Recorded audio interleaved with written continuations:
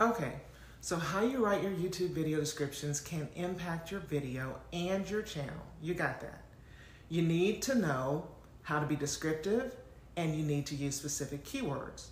But sometimes our brains just can't come up with descriptive and engaging copy for our YouTube videos.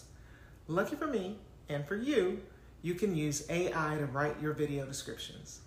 If you have a tool like vidIQ, this is one that I love and I use every day, or you could use the free version of ChatGPT. vidIQ creates your descriptions based on tags you associate with your video. Using the video I talked about in my last tip, how to organize your home office, you would just type in those terms, how to organize your home office, and maybe add five tips.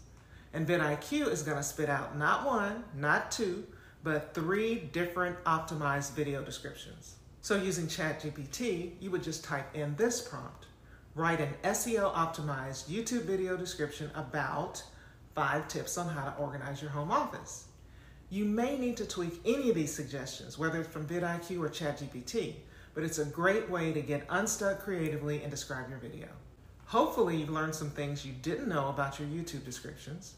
I've actually got one more tip around this that could ignite a little fire under your entire channel. And that's up next.